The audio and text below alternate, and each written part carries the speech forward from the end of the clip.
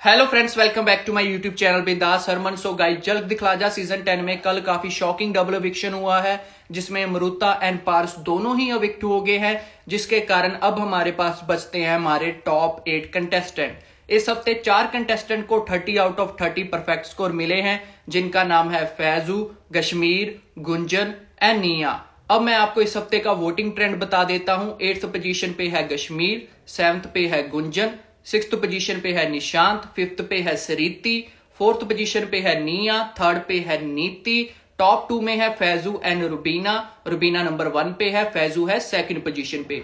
Rubina voting trend में तो number one position पे है, लेकिन जजेस की तरफ़ से सबसे कम मार्क्स रुबीना को ही मिले हैं। वोटिंग ट्रेंड में बॉटम टू में है कश्मीर एंड गुंजन लेकिन जजिस की तरफ़ से उनको 30 आउट ऑफ़ 30 परफेक्ट स्कोर मिले हैं, जिसका मतलब है कि वो तो इस हफ़्ते विक्ट नहीं होंगे। इसके बाद हमारे पास बॉटम में कौन बचते हैं? निशांत, सरीति एंड नीति। आपके अकॉर्डिंग इन तीनों में से किसको विक्ट होना चाहिए, आप अपनी राय हमें कमेंट सेक्शन में ज़रूर बताएँ। और ऐसी और भी वीडियोस के लिए हमारे यूट्यूब चैनल बिंदास हरमन को सब्सक्राइब कर लो।